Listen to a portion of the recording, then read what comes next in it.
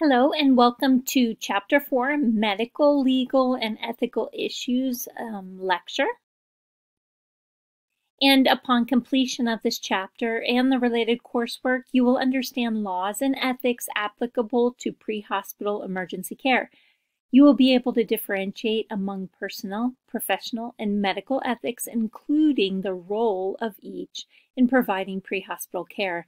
You will be familiar with the United States legal system in terms specific to criminal, civil, and employment law relevant to the paramedic and EMS system. You will also be able to describe legal accountability of a paramedic as a professional healthcare provider and be able to explain expectations of the paramedic in patient encounters as it relates to consent and treatment of the patient, including how to protect against negligence claims. Okay, so let's get started with the chapter. Medical professionals provide care under a set of laws affecting how patients must be treated. Ethics are principles, personal and social, that determine what is right and wrong, and laws have sanctions for violations that are enforceable, define the obligations of paramedics, and protect our rights and the rights of others.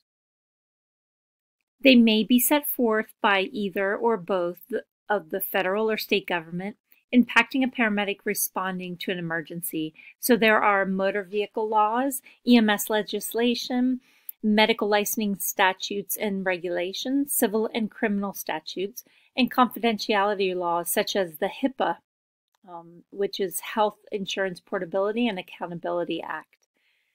Basic understanding of laws and ethics applicable to pre hospital care Failing to perform your job within the law can result in civil and criminal liability, and practicing outside of the law can result in regulatory action or action by your agency and medical director.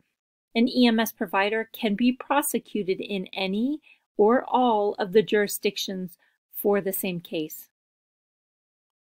So, ethics.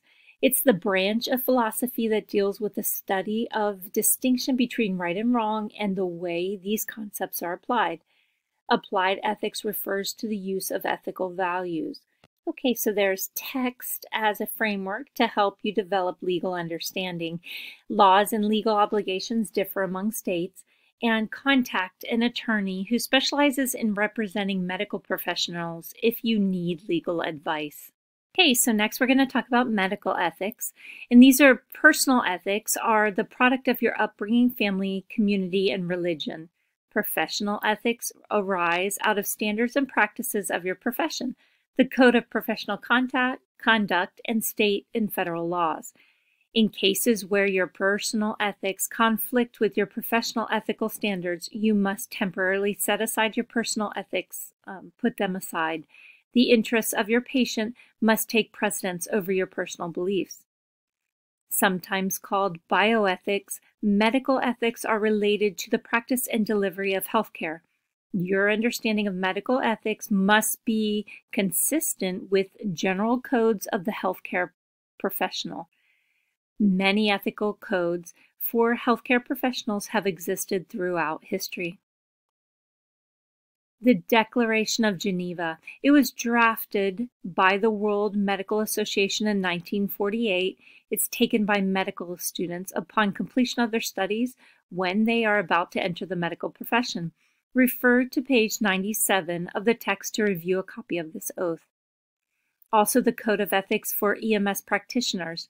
It's issued by the National Association of Emergency Medical Technicians in 1978. It's still in use today.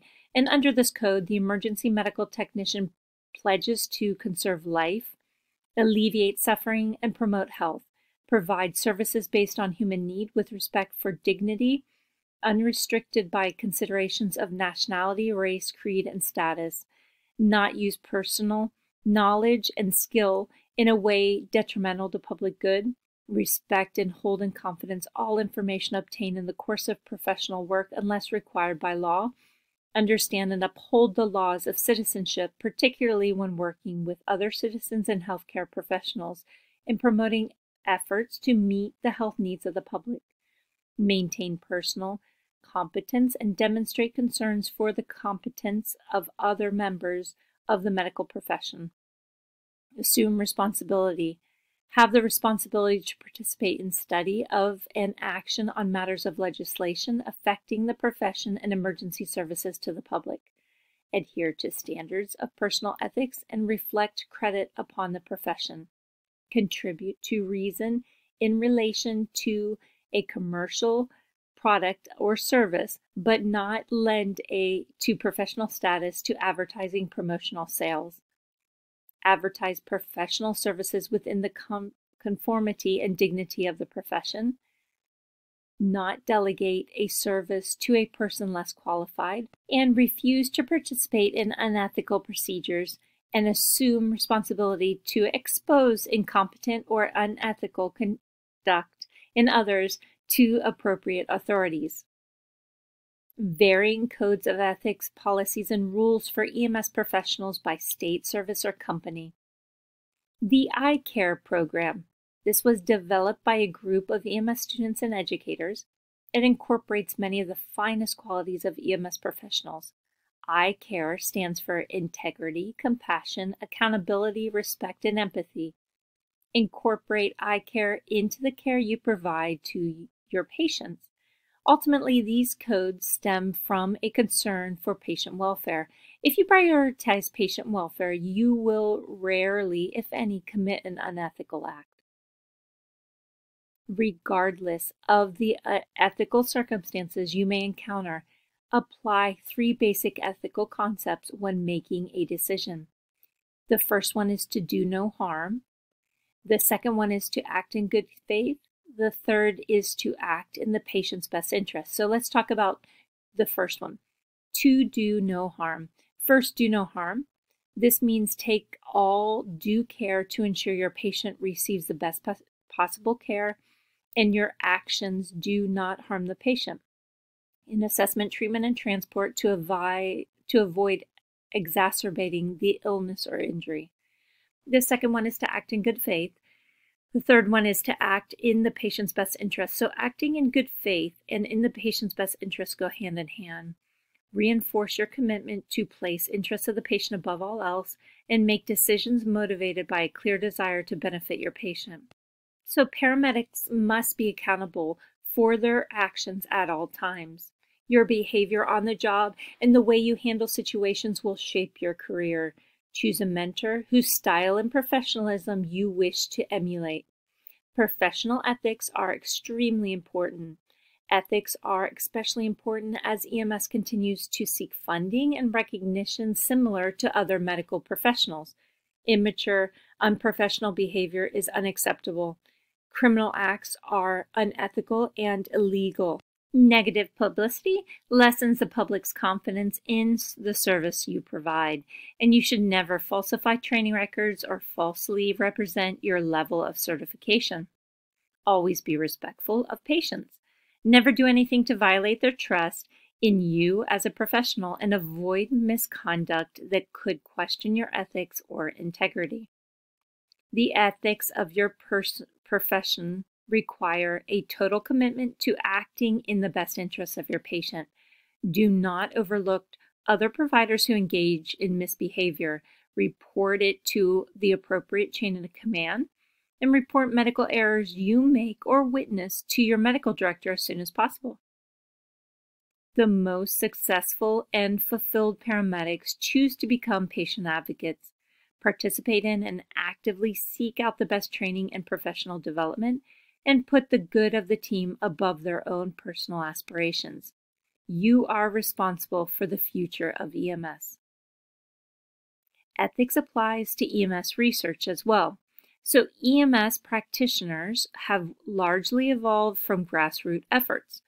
Properly randomized controlled studies are not common, but they are emerging. So, remember the first principle of medical practice is to do no harm.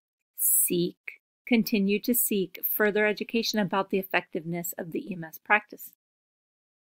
EMS care relies on anecdotal experience that is unsupported by research. So some procedures prove not be helpful to patients. You should act on those recommendations as well. Conducting studies on critically ill or injured patients without their informed consent is a true ethical dilemma Make yourself aware of how researchers are handling ethical debates concerning patients in research. Okay, so the legal system in the United States passage, administration, and interpretation of federal and state laws affecting paramedics. So, the legislative branch. It's composed of elected officials, Congress and state legislators that make laws. The judicial branch is composed of the court system. It enforces and interprets laws. It resolves disputes based on the interpretation of laws. Common law is defined as a decision that has been made by a judge through a court base on his or her interpretation of the statutes and constitutions. A number of court um, levels, so examples there are trial and appellate, and precedents of the law of the state in which the paramedics practice. In most cases, court decisions establish standard of negligence. And then there's the executive branch or the administrative branch. This reports directly to the president or the governor. It's composed of cabinets and agencies or bureaucrats that carry out and administer laws, often use regulations to establish how things should be done. For example, the U.S. Department of Transportation at the federal level. Your responsibility to know and understand your state's laws and administration regulations that affect your practice. So let's talk about the types of laws next. Civil and criminal law govern paramedics in court. Under civil law, a patient can sue you for a perceived injury. Criminal law allows the state to prosecute a paramedic for breaking a legal statute, and malpractice suits are tried under civil law. They may be based on statutes, but also uh, claims usually arise from uh, principles of negligence. And cases of medication misuse are usually tried under criminal law. Most civil law is concerned with establishing liability, or otherwise known as responsibility. The judicial process determines who is responsible when a person is injured and seeks redress. So, citizens have a constitutional right to take legal action against a medical provider they believe provided inadequate care. However, they must prove that the medical provider was negligent. Um, actionable cause could lead to a civil lawsuit. So, legal action instituted by a private person or entity the defendant is the person or entity against whom a legal action is brought, and tort is the wrongful act that gives rise to a civil suit. There are two classifications of tort. There's unintentional, which is negligence, and intentional, where there is intent to cause harm. The purpose of a civil suit is usually compensation, or otherwise known as damages, for injury the plaintiff sustained. In most medical liability cases, the plaintiff seeks compensation for physical suffering, mental anguish, medical bills, and lost earnings. The court may also award punitive damage if the misconduct was intentional or constituted a disregard for public safety. To succeed in a civil suit, the plaintiff needs to show a majority of evidence favors his or her position. The plaintiff must convince the jury of his or her position. Most EMS lawsuits result from emergency vehicle crashes, so safe driving is key to preventing lawsuits. Crashes cause expensive damage and serious harm to providers, patients, and bystanders. Other kinds of lawsuits against EMS providers are on the rise, though. Many involve dispatch and transport issues. So, example of this would be a delayed transport response, patient deterioration after not being transported. Others involve the quality of medical care provided by the EMS providers, especially paramedics. And sometimes the same act that sparks a civil suit may elicit criminal prosecution.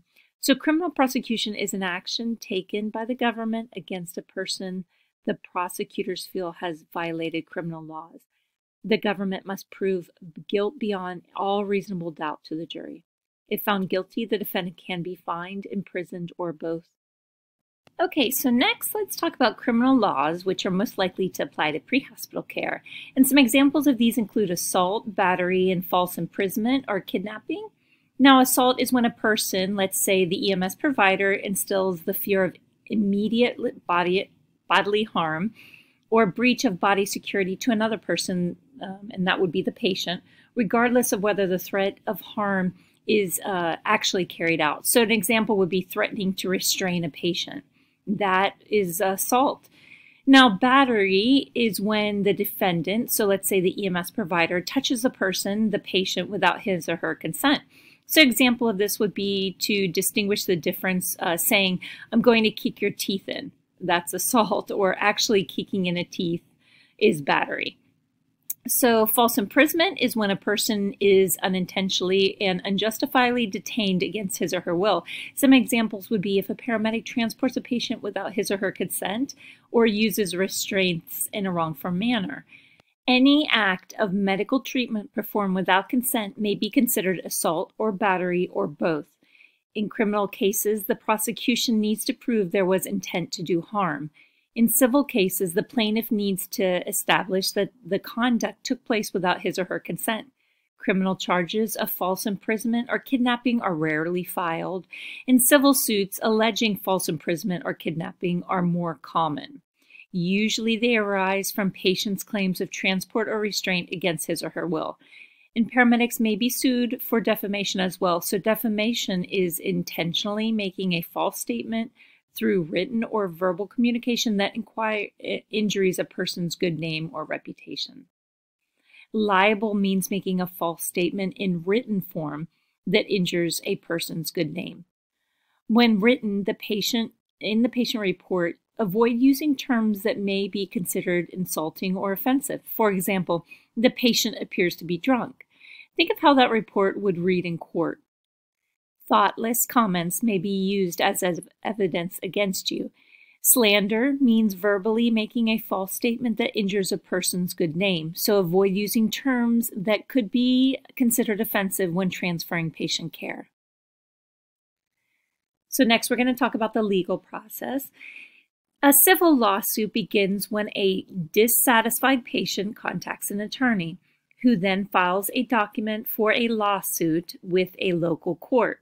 The complaint contains general allegations against the paramedic and the EMS system, but may not contain specific information about what the patient thinks went wrong. The patient's attorney must deliver a copy of the complaint and the summons to the person involved in the lawsuit. From start to finish, the lawsuit may take several years. Normally, an attorney will be assigned to you by the insurance company that handles the claims for your employer. The complaint will be filed and your attorney will answer. Then the discovery period begins. This can last a few months or more than two years. Attorneys on both sides seek as much information about the case as possible. The following may take place the exchange of written questions, which must be answered under oath, the exchange of documents, and then depositions, which are statements taken under oath. Stay in touch with your attorney during this time, and your attorney will prepare you for depositions by telling you where to go and what to wear and how to respond to certain types of questions. Attorneys may also file motions and argue them before the judge. Most civil cases are resolved during a settlement process. Taking a case through trial is expensive and time consuming, and settlement involves both parties and their attorneys in mediation and arbitration. If the case cannot be resolved during the settlement, it will proceed to trial. The paramedic and the medical director. So, the relationship between the paramedic and the medical director is complex. Ultimately, the paramedic has three lines of authority to answer to within the EMS system. So, the medical director, the licensing agency, and the employer. There may be some overlap, but these distinctions are important.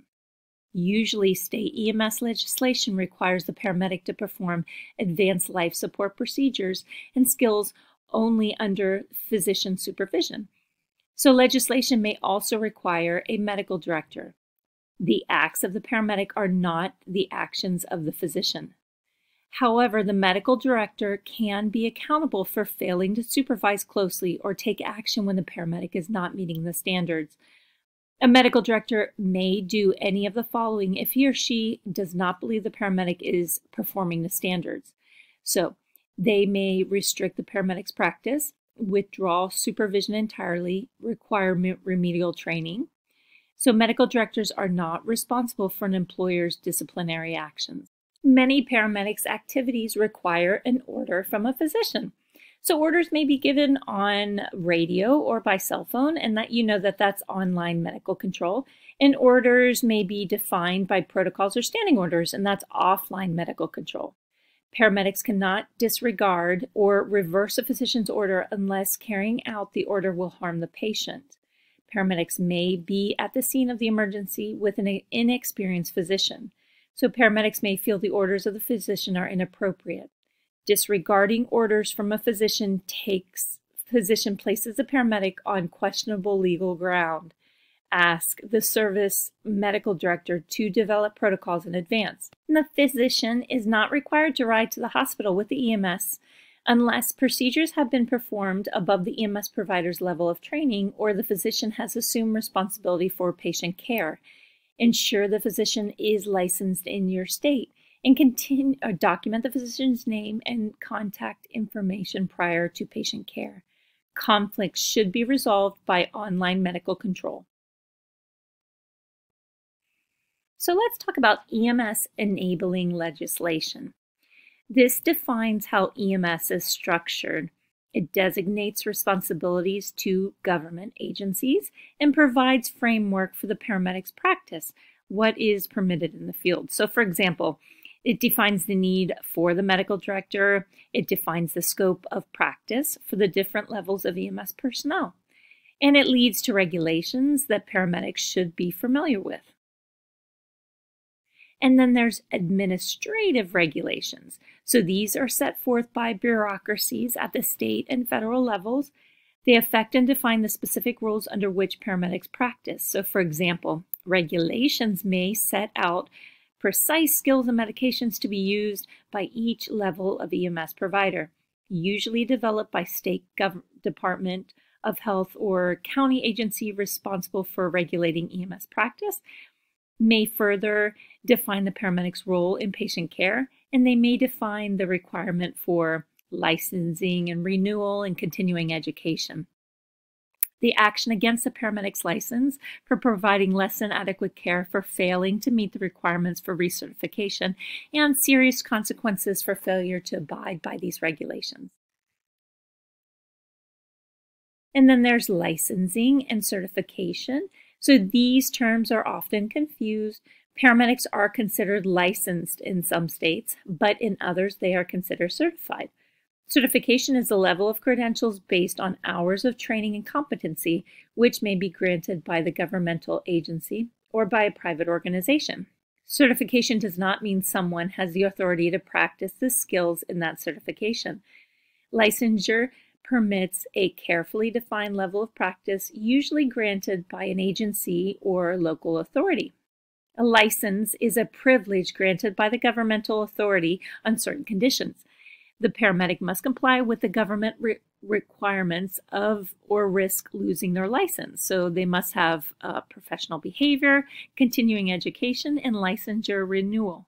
Rights and privileges conferred by licensing in one state may not be conferred on other states that certify, rather than licensed paramedics. Credentialing may be encountered by the paramedic as well. So, discipline and due process. Paramedics who commit an infraction to licensure rules may have their license restricted, suspended, or revoked by a granting agency. Administrative agencies can propose a license action, licensing action called due process. And so, what due process is, it's a right to a fair procedure for the action the agency proposes to take. And there are two components. You have to be have the notice and the opportunity to be heard. The paramedic is notified by receipt of a certified letter of the notice of action. The letter informs him or her of the action to be taken and the regulations the agency is alleging were violated. So let's talk about the Medical Practice Act next. And this enables physicians and other healthcare practitioners to function. The Medical Practice Act defines the minimal qualifications of those who perform various health services and the skills that each type of practitioner is legally permitted to use. It may contain requirements for relicensure or recertification based on continuing education, and it may require a physician to assume responsibility for um, competency of the paramedic. So the training, the skills, the and review run, and it varies from state to state. And then there's the scope of practice. So the scope of practice may be spelled out in your state's EMS legislation or regulations. The scope of practice is care that a paramedic is permitted to perform occurring to the state under his or her license or certification. The medical director might not permit a paramedic to perform all the skills or give all the medications for which the paramedic is licensed or certified. A paramedic carrying out procedures outside his or her scope of practice may be considered for negligence or criminal uh, offense. So, scope of practice should not be confused with standard of care. Standard of care is what a reasonable paramedic would do in a similar situation. And then there's the Health Insurance Portability and Accountability Act. And you want to be very familiar with this. This is otherwise known as HIPAA. This provides stringent privacy requirements for patient information. It was enacted in 1996 and it provides for criminal sanctions as well as civil penalties for releasing a patient's private medical information to an, in an unauthorized manner. HIPAA privacy rules are the most relevant part of HIPAA for healthcare providers.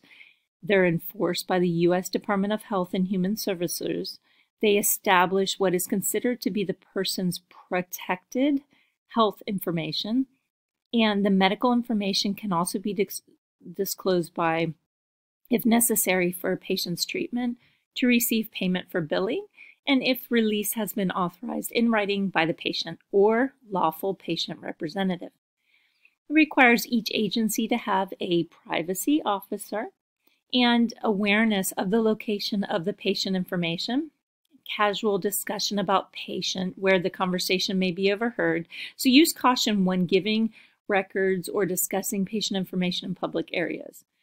Um, liability of sharing the patient's stories and caution during ride along situations. Patients entitled to a copy of their service per, um, privacy policies, so they may may be difficult in an emergency setting, but they're obligated to do your best to follow compliance with the law. Most services make up leaflets, state laws pertaining to patient confidentiality, and there's a code of ethics for emergency medical techs and confidentiality. So it's issued by the National Association of Emergency Medical Technicians. So release of medical information without the patient's authorization. It's legally mandated reporting are dog bites, gunshot wounds, or child abuse authorized data collection, research for public health agencies, authorized requests by law enforcement, information required to be disclosed um, persistent to a valid subpoena, or exchange of health information for a medical need. So it's allowed and is necessary. HIPAA implications for electronic communication. So some agencies prohibit EMS providers from carrying camera-enabled mobile phones while on duty. Ensures everyone on the call understands the patient information should never be posted on any social media network. And it ensures no patient identifiers are present if an emergency scene is captured in any photographs or videos. The safeguard principle of HIPAA requires that reasonable administration, technical, and physical safeguards be put into place to aid the protection of patient information. Knowledge of HIPAA rules and regulations by all agencies involved your agency's um, privacy provider can help you better understand all the rules and regulations associated with HIPAA and your role in EMS. Okay, so then there's the Emergency Medical Treatment and Active Labor Act, and this was established in 1986. It combats the practice of patient dumping. So, when a hospital emergency department denies medical screening or stabilizing treatment, or inappropriately transfers a person who is not stable, Historically, it's occurred when the hospital discovered that the patient did not have health insurance and was unable to pay. So, economic triage is a practice of making healthcare decisions based on the ability of the patient or the insurance carrier to provide payment for services. So, paramedics have been accused of providing a lower standard of care for indigent persons or those on public assistance. So, understand local protocols require or regarding hospital to transfer patients. Rural hospitals may have limited choices, and other places may have several options. So, some systems require patients to be transported to the nearest hospital the paramedic may be required to consult with medical control and um, issues severe fines for hospitals and doctors who violate the provisions and issues are regulated by the Centers for Medicare and Medicaid Services. Okay, the next thing we're going to talk about is emergency vehicle laws. And most states have specific statutes that define an emergency vehicle and what traffic should do when the emergency vehicle approaches. But the laws vary from state to state, and emergency vehicles, they must be operated in a safe manner. Laws do not authorize speeding, running red lights, or driving the vehicle in an unsafe manner if any of those activities put the public at unreasonable risk. State laws establish higher standards for the operator. In a crash, often the EMS provider will be found at fault in a civil case against the driver. The driver may be charged criminally. Know the laws of state about emergency vehicle operation. The blue star of life and the flashing red lights do not exempt you from defensive driving and common courtesy. Emergency vehicle operators are professionally trained to operate vehicles safely at all times and to anticipate reactions of other drivers in stressful situations. A collision could result in injuries and or delayed patient treatment. And then transportation. So patients should be transported to the hospital of their choice. Most EMS systems have protocols to transport certain types of patients to particular hospitals. So, for example, a trauma, stroke, or cardiac event may be homeless patients, mentally ill patients, or obese patients. The capacity of each hospital should guide the EMS system in delivering or developing the transport protocols. Paramedics who have decided not to transport patients have been the subject of litigation. Studies have demonstrated that paramedics should not decide which patients need to be transported to the hospital for any health problems. The whole EMS system does not have access to sophisticated diagnostic tools or radiography in a pre hospital setting.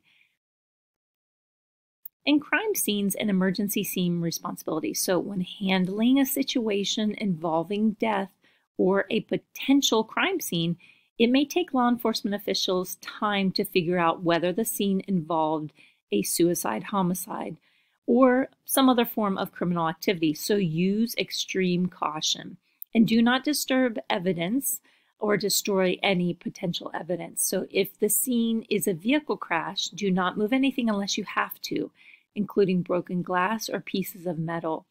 If the scene is indoors, try not to touch anything that you do not have to for the risk of eliminating fingerprints, such as telephones or doorknobs. Document statements made by witnesses and get their contact info. Limit the number of EMS personnel to enter the scene.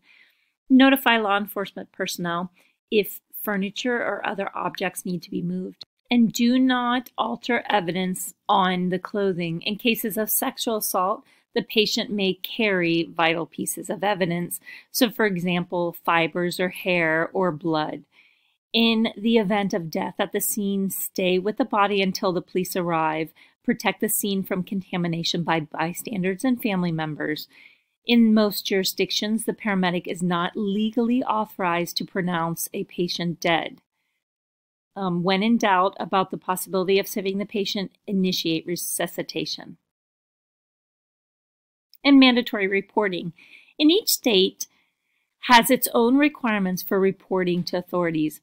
Every state has laws requiring EMS to report child and elder abuse, so become familiar with the reporting requirements of the state in which you're employed. The obligation to report is frequently applied to neglect or abuse of children, neglect or abuse of older people, domestic violence, injury from a felony, drug related injuries, rape, animal bites, or certain communicable diseases. And then the coroner and medical examiner cases. So, EMS agencies have a list of procedures that involve the coroner or medical examiner.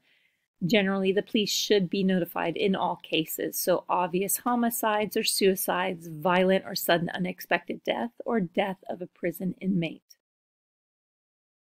Okay, so paramedic and patient relationships. Most important role in medical care is do what is best for the patients. Paramedics are trained in emergency medical care, not law. Every decision should be based on the standards of good medical care, not on the possibility of legal consequence. So, doing what is best for the patient will avoid problems with the law consent and refusal. So, obtain consent of the patient prior to providing emergency medical care. Consent refers to the patient who are of legal ages and possess decision making capacity, making medical care decisions for themselves. There are two types of consent there is informed consent and implied consent, and we're going to talk about those next. So, informed consent must be obtained from every adult patient who has decision making capacity. A number of things may impede you giving patients what they need to make decisions, though. There may be a language barrier, or an emotional state, or the mental ability. Ensure the patient understands that you are what you are trying to do and grant you permission to treat. Informed consent may lack formality in the hospital. So document the patient's consent to provide yourself against potential legal action. Informed consent is routinely obtained verbally. It may also be communicated through the patient conduct, so rolling up sleeve to allow for a blood pressure check.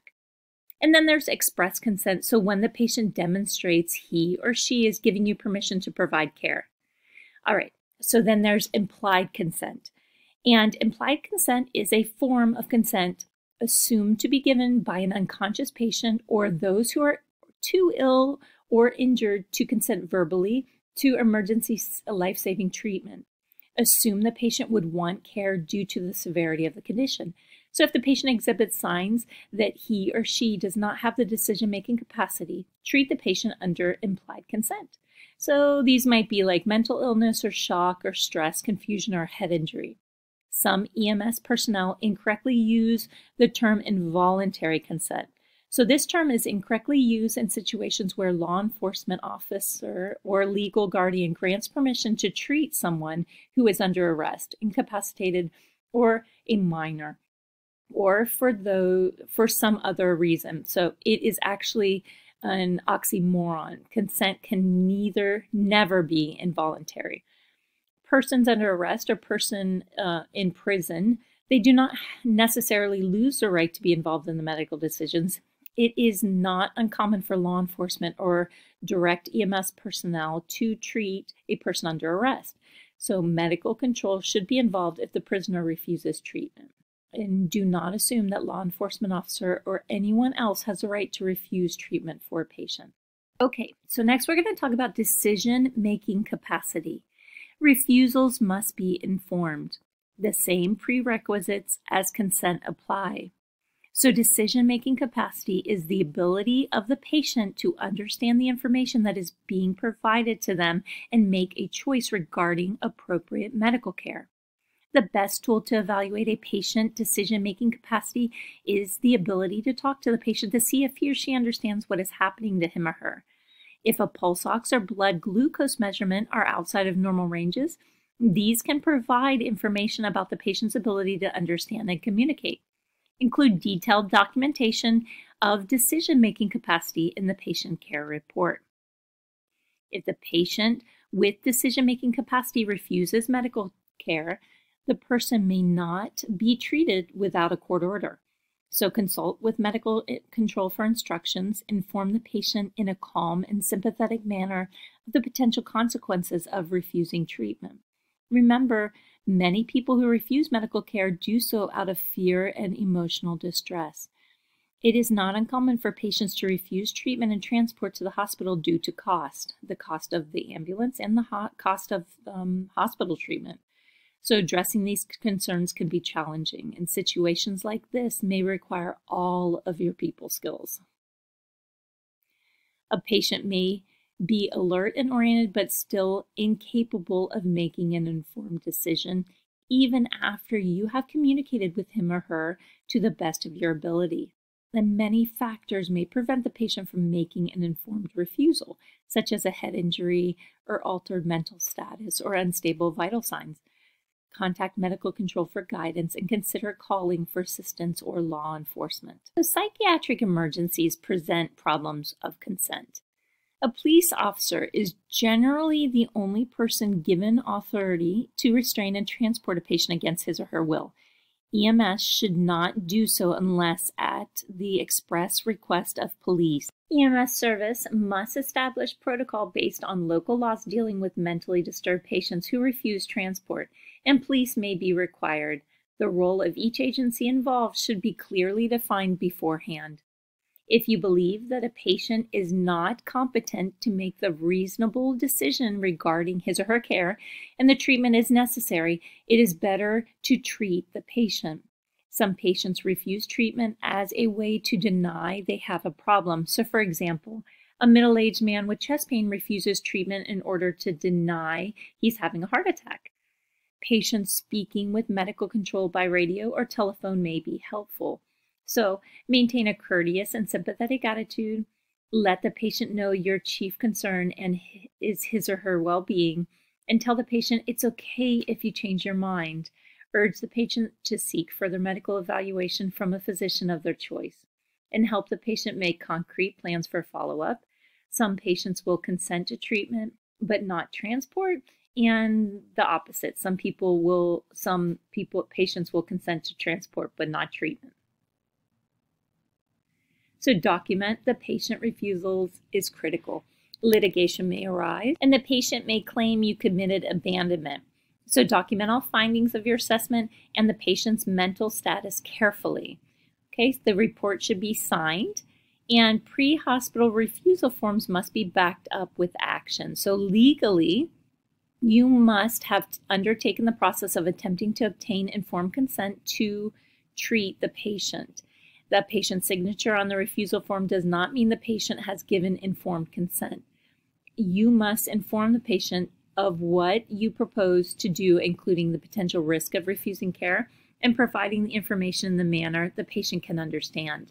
A patient refusing care can be difficult for the paramedic, but the patient's rights must be respected regardless of your beliefs or what you think you should be doing courts have upheld patient refusals when paramedics documented a patient's decision making capacity. Okay, then there's minors. So minors present special issues for a medic as well. Minors have no legal status and they cannot refuse or consent to medical care. Consent must be obtained from the parent or medical or legal guardian of the children or adults who have legal guardians. So be aware of the legal principle in loco parentis. So in loco parentis means in place of parent, and it may apply to school or daycare or summer camp. Decisions by the school administrators or daycare directors on behalf of the minor. Difficult circumstances may arise if the parent or legal guardian refuses to grant consent to the minor who clearly requires life saving or limb saving treatment.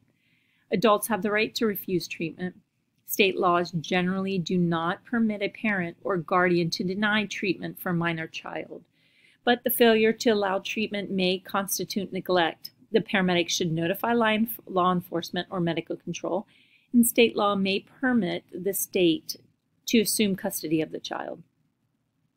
Emancipated minors are under the legal age in a given state but can be treated as a legal adult due to qualifying circumstances um, circumstances. So individual state laws determines the circumstances, but in most states, they recognize any minor who has been emancipated by a court order. In some states, um, there's criteria. So if the marriage or pregnancy or active military service, emancipated minors may be treated as adults when obtaining consent or refusal. Okay, so violent patients and restraints. So the use of force by paramedics can be the case of many lawsuits. force can only be used in response to a patient's use of force against you. So if you're attacked, you may be able to defend yourself. And the use of temporary disabling sprays, knives, or firearms are usually prohibited by the EMS agency. The amount of force allowed by law is either equal or slightly greater than the force offered by the patient. Violence against EMS providers is on a rise, but do not enter a scene that is unsafe. Let law enforcement secure that scene. Restraint can be used for medical reasons only when the patient is a danger to himself or others. So, violence can be a result of a medical reason, such as hypoxia or hypoglycemia, mental illness, or brain injury. Okay, so negligence and protection against negligence claims. No protection from liability or gross negligence other than immunity. So negligence occurs when the paramedic or EMS system had the legal duty to the patient.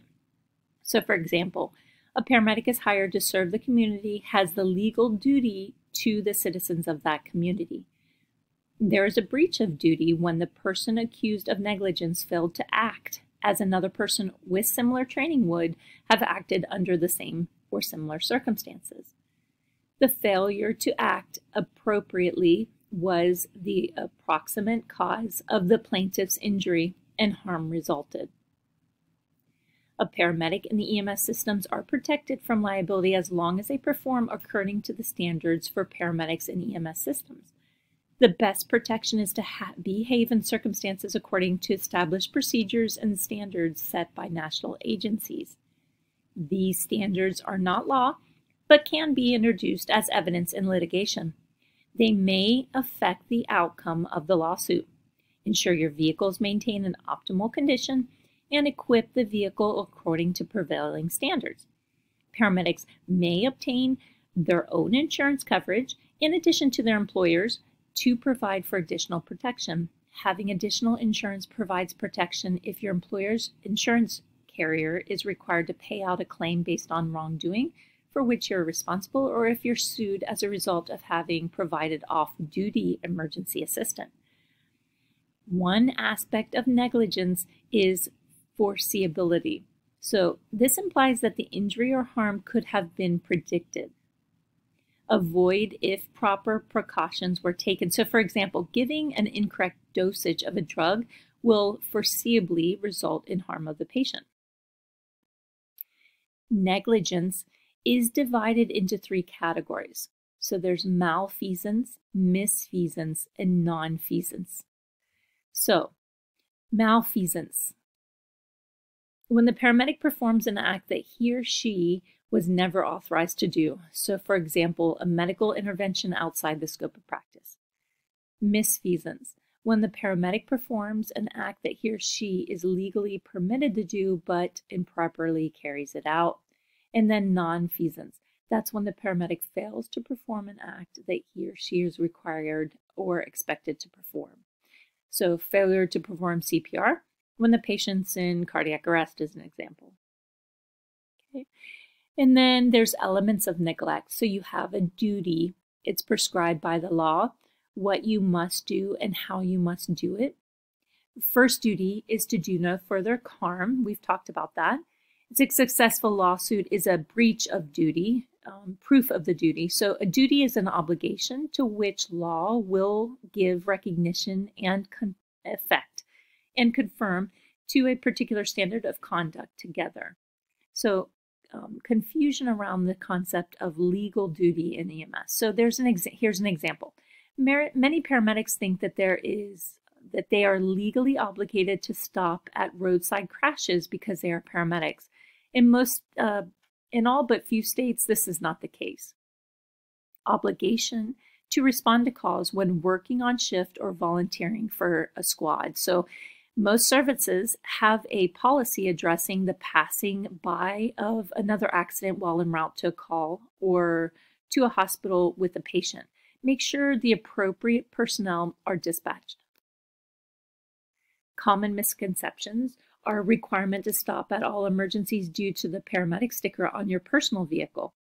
There's a legal duty to perform within the standard of care if the decision is made to stop but further legal duty not to abandon a patient once the treatment has began, but legal obligations when off duty, usually not. There are state laws and education of peers regarding off duty obligations, but um, legal duty of EMS agencies, though, agencies have a duty to respond to calls for aid, the use of mutual resources um, appropriately if call volume is heavy, and the concept in the law that tells you what your standards of practice are. So, often defined in the context of a case tried in a court of law.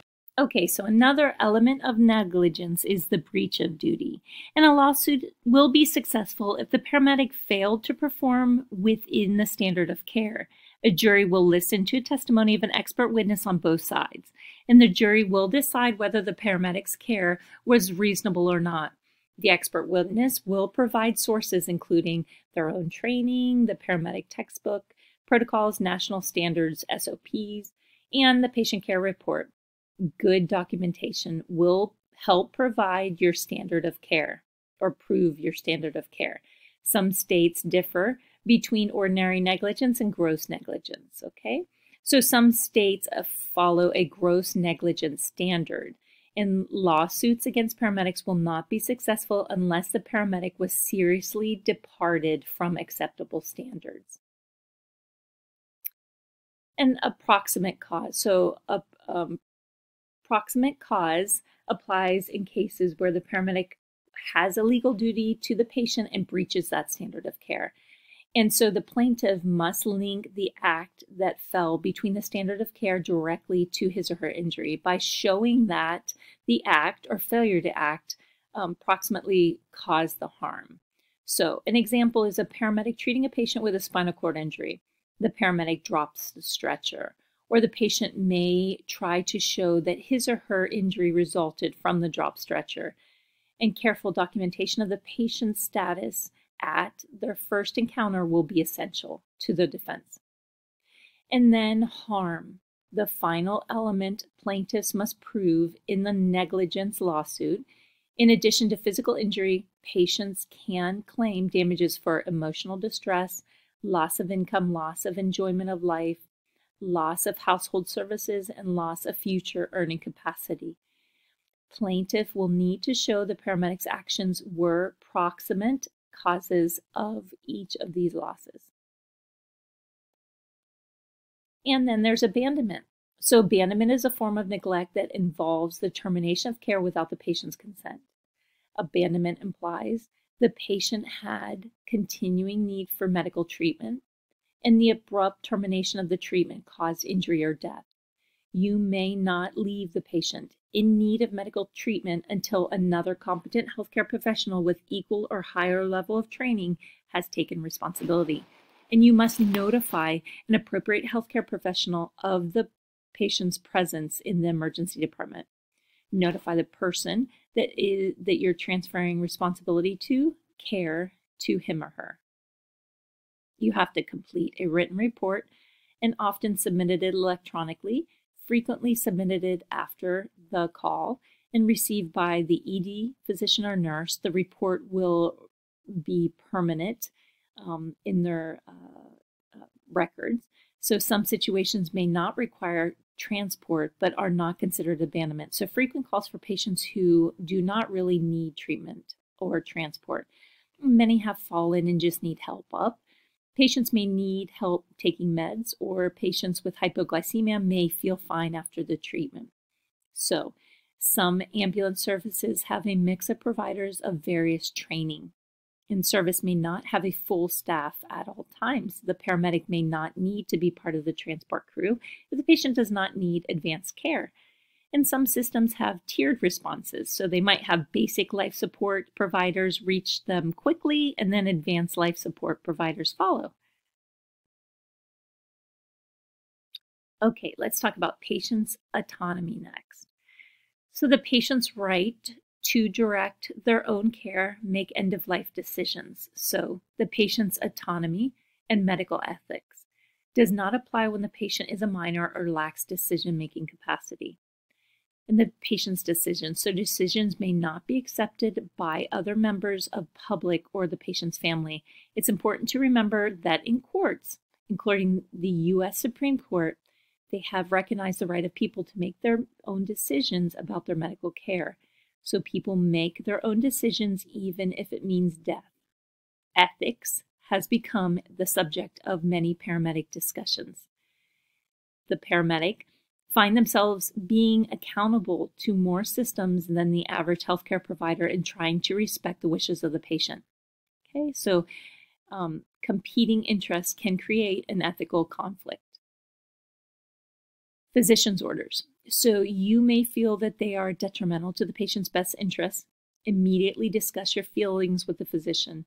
You are in a better situation to understand your job is to communicate fully with that physician never perform a procedure or administer a med that you feel um, or believe will harm the patient. For example, if the physician asks you to perform a procedure in which you are not trained, obtain clarification from the physician and communicate your objections. Discuss your current standing orders and offer a feasible alternative within your scope of practice. Act in the patient's best interest as his or her advocate. All right, now we're going to start talking about advanced directives. And these are usually a written document, and it can be an oral statement, though. Um, some examples are living wills, or DNRs, or organ donations, and they differ from state to state. And a DNR order may restrict advanced life support care. State law covers whether EMS personnel are bound by advanced directives, and those that cover DNR orders are usually very strict, though. Learn and follow the laws in your state, and state law provides a framework for your decisions. Okay, so now we're going to go through some of the um, advanced directives, and uh, the first one we're going to talk about is the living will and the health healthcare power of attorney. So, living will and healthcare power of attorney, these are types of advanced directives. A patient can express wishes regarding end of life medical care and these are sometimes called healthcare durable power of attorneys. These documents can sometimes be confusing, and there are various types of powers of attorneys. Older patients commonly execute powers of attorney, and it enables others to conduct financial affairs on their behalf. They have no effect on healthcare whatsoever. These documents may have been executed outside the state in which the patient now resides, so effect in your state may be questionable.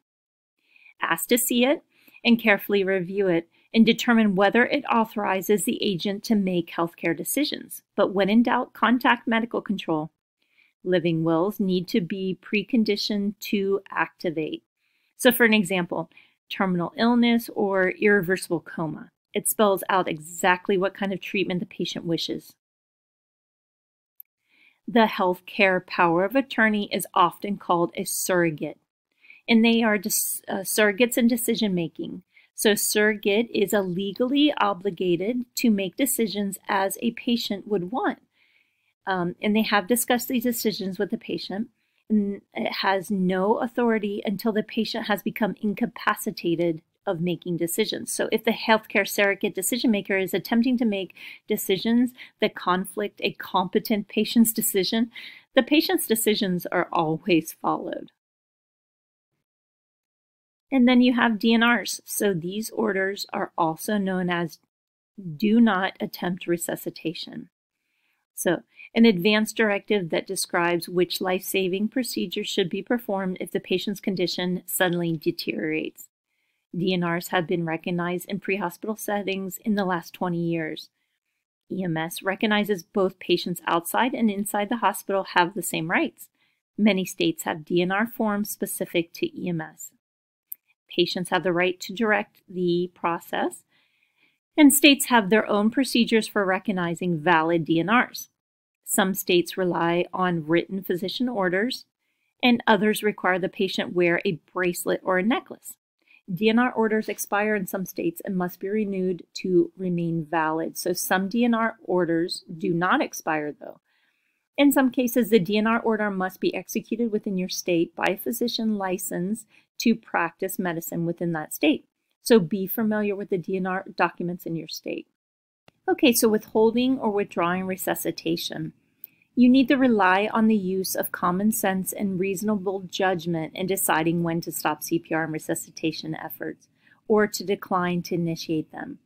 The National Association of EMS Physicians has pushed data and guidelines for termination of resuscitation of non traumatic cardiopulmonary arrest that demonstrates the benefits of on scene resuscitation along with when to terminate resuscitation. Medical studies show that resuscitation of medical and trauma patients is sometimes futile or may become futile. Consider the time it will take for the patient to receive care and the likelihood of survival. Each state has different laws defining the role of a paramedic in resuscitation uh, issues. In some jurisdictions, a paramedic can pronounce death. Uh, other states, only a medical investigator or physician may do so. So, state laws govern your practice even if the patient is critical deceased. Some laws include guidelines for basic life support.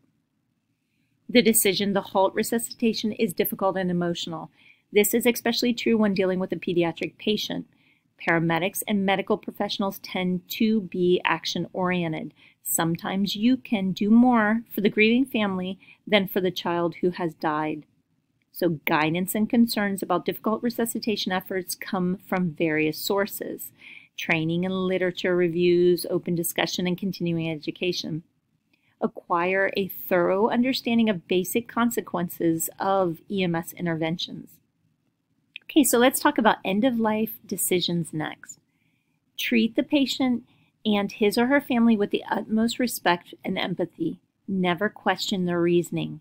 Understand that family of a dying patient may not know how to check a pulse, and a loved one, despite knowing that death is near, may call for an ambulance.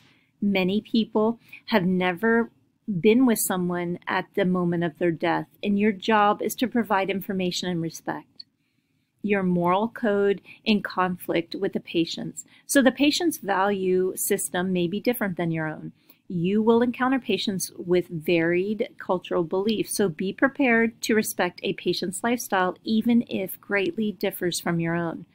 Confusing scenarios when DNR paperwork is not available. So begin resuscitation efforts and then discontinue when the paperwork is confirmed. In most cases, DNR paperwork may be valid, but the patient's family may disagree with the DNR or order. So avoid hostile encounters, but carry out the patient's wishes to the best of your ability and contact medical control in confusing situations or questions. The medical control physician can be a valuable resource. Medical control orders for life sustaining treatment. So, the end of life document. So, more expansive than a DNR. It's intended to be followed by all healthcare providers and applies to patients who are in cardiac arrest.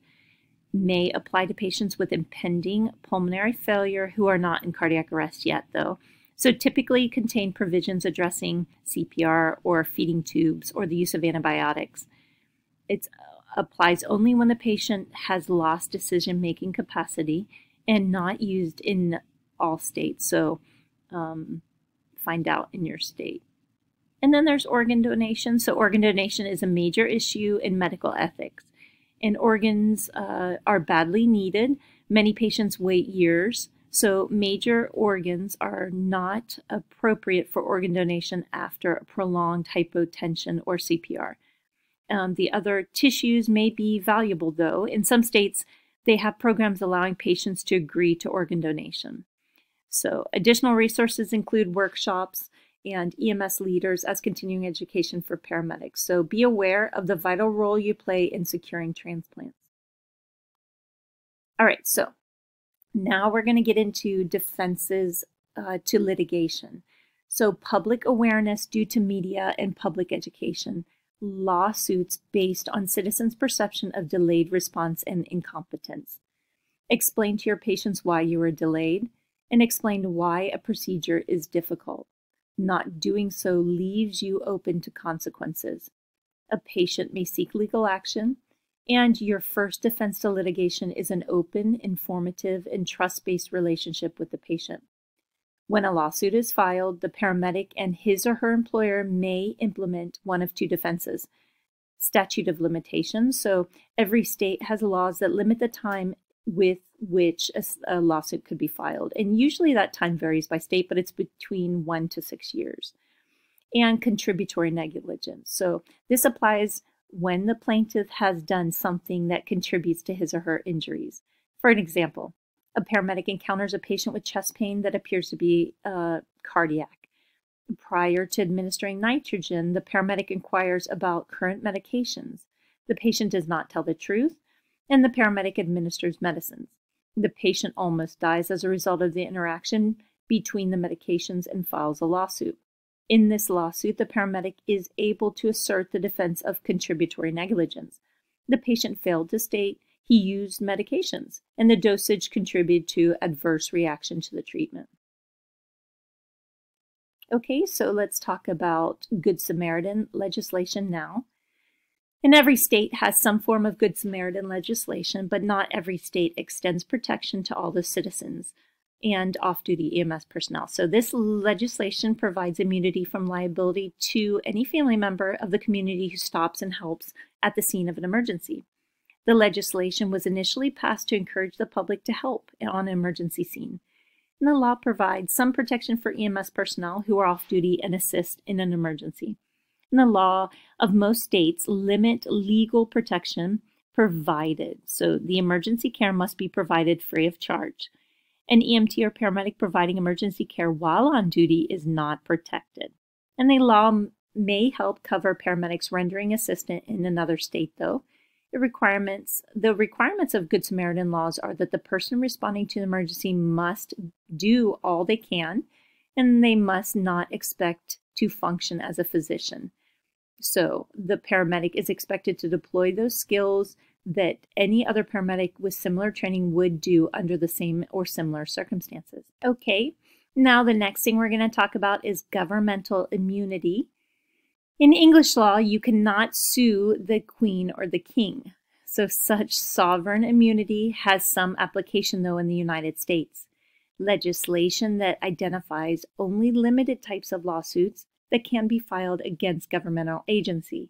And they may set limited time frames in which lawsuits can be filed, and they may limit the amount of money a plaintiff can recover. And then qualified immunity. So, governmental immunity does not cover civil rights violations. Lawsuits have been filed against public sector paramedics. An example would be an EMS personnel improperly restraining a patient or using excessive force. Another example would be conduct that deviates from the standard of care where civil rights violation is said to occur. And paramedics working or volunteering for public agencies may have qualified immunity. So this does not apply, though, to tort cases. Employment law and the paramedic. So important laws affecting their relationship with their employer. Becoming involved in a legal issue regarding your employment is more likely than being sued by the patient. So relationships with employer and employee involves a complex complexity of state and federal laws and uh, regulations. So have a basic understanding of these laws. And now let's talk about the ADA, which is the American with Disabilities Act. It's a federal law. It's adopted to protect qualified persons with disabilities from being discriminated against in employment.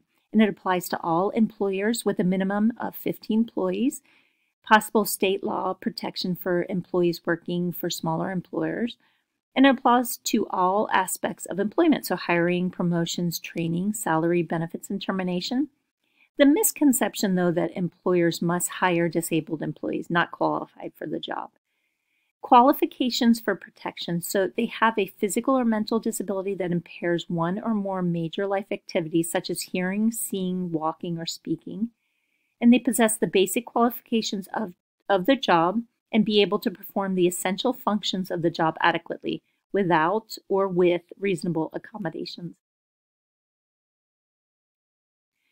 Inquiries and accommodations. So, an employer may not inquire about an applicant's disability or require a medical exam until a job offer has been made.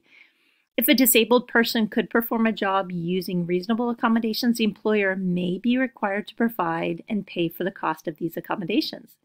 No requirement for giving reference to a person with a disability, and this requires uh, employer make employment decisions based on reasons that are unrelated to the disability. Decisions based on the applicant or employee being capable of performing the essential functions of the job. Next, we're going to talk about Title VII of the Civil Rights Act. And this prohibits discrimination in employment based on race, color, religion, gender, national organ, origin, or sexual discrimination. It provides protection against sexual harassment in the workplace and applies to all aspects of employment, including recruiting, hiring, promotions, benefits, and termination. It applies only to businesses with more than 15 employees, and it's unusual for an employer to blatantly refuse to hire or promote someone based on their race, gender, religion, color, or national origin. Successful claims involve the identification of a discriminatory hiring pattern. It develops over time violations of Title VII even when hiring practices appear normal. So, an employer places a classification ad that states the qualification for the job is a minimum height requirement. The ad may seem neutral in respect to gender. This is a negative impact on the ability of women to apply. So, the employer would have to prove the necessity of the height requirement. And then sexual harassment, so most common claim filed under Title VII. EMS has seen its share of sexual harassment. So there are two types of sexual harassment. There's the quid pro quo, and that's when a person in authority attempts to exchange work-related benefit for sexual favors. And then there's the hostile environment. And this is when the agent or employer uh, creates or allows to continue an offensive practice related to sex that makes it uncomfortable or impossible for an employee to continue working. Sexual harassment can occur between any combination of sexes. Most claims fall into the category of hostile environment. And there is no presence uh, definition, precise definition in the law for sexual harassment court decisions have identified a number of circumstances that can be considered harassment. So, sexual jokes or sexually offensive photographs, unwanted sexual advances, or inappropriate and unwelcome touching or kissing. All employers have an obligation to prevent sexual harassment and uh, investigate any and all claims appropriately and promptly. An employer should provide training to all new employees and employees on an annual basis additional federal laws dealing with discrimination. So there are several federal laws that prohibit various types of discrimination in the workplace. There's the Pregnancy Discrimination Act. And this is an illegal to discriminate against pregnancy, childbirth, or any medical condition relating to pregnancy. And it was adopted in 1978 as an amendment to Title VII. And then there's the Equal Pay Act of 1963, and it's illegal to pay different rates of pay to men and women and there's the Age Discrimination Act of 1967. So it prohibits persons who are 40 years of age or older from discrimination based on age. And it applies to businesses with 15 more employees. And then there's state laws. So they deal with discrimination in the workplace. State laws address the same issues covered under federal laws. And uh, they may apply whether or whether or not there are 15 or more employees. So become familiar with laws of your state. All right, and then there's the Family Medical Leave Act. So it was established in 1993. It grants employees to take up to 12 weeks of unpaid leave per year under certain, circumstances. It applies to employers with at least 50 employees and it covers those who have worked for the employee for at least 12 months. So this uh, allows leave to deal with the medical condition for employee or family for birth or adoption of a child in states' uh, own versions of F FMLA. So they have their own versions and it may provide the employee with more rights than the federal law and may apply to employers with fewer than 50 employees. Okay, and next there's OSHA. We're wrapping this up, um, OSHA. So this is uh, Occupational Safety and Health Administration. It's a federal agency that regulates safety in the workplace. States may enforce regulations tighter than those set by OSHA, and states may not make regulations more lenient, though. So, OSHA was enacted in 1970 and all employers have several basic responsibilities, and they have to comply with OSHA standards and provide all employees with a safe workplace free of hazards. And then to warn employees if there are potential hazards, to ensure that employees are provided with appropriate safety equipment. Healthcare employers have additional responsibilities, so to develop an exposure plan, develop training programs, uh, an annual refresher training make the hepatitis B vaccine available. And OSHA regulations and standards are challenging, though, so be familiar as possible with these changes. Thousands of EMS agency employees sustain injuries and illness each year, and you share an obligation to do all you can to avoid these injuries. Okay, and so uh, the second to last thing we're going to talk about is the Ryan White Act. And this is a federal law that provides certain safeguards and protections for healthcare workers who are potentially exposed to certain designate, um, designated diseases. So they have been established by the Centers for Disease Control and Prevention, and they include HIV, AIDS, tuberculosis, hepatitis B, meningitis, diphtheria, hemorrhagic fevers, plague, and rabies. It contains several provisions. So it states that hospitals and emergency response employees are required to establish a notification system to be used when exposure occurs. Employers must appoint a designated infection control officer to handle exposures and to assist all employees who have been exposed. Notification of infection control officer of possible exposure to the infectious disease, and the infectious control officer will be aware of any state specific laws relating to infectious disease exposure. Okay, and finally, in conclusion, there's the National Labor Relations Act, and many paramedics are employed by EMS uh, services that are not unionized. Employees have elected to have a union represent them as a collective bargaining agent for purposes of negotiating issues such as compensation, benefits, and work conditions. This law is also known as the Wagner Act. And this is a primary law establishing the rights of union and union workers. This law regulates unfair labor practices by employees, and employees have a wide range of rights that which they should be familiar. Each state has its own set of laws, and in some states the right to work laws do not allow employer or union to require you to join a union as a condition of being hired or retained on the job. Other states may require you to join the union within a certain time period after you are hired. Okay, so this concludes the lecture for Medical, Legal, and Ethical Issues, Chapter 4, and we hope that you've enjoyed it. If you have, subscribe to the channel because we'll be releasing the rest of the chapters shortly. Thank you.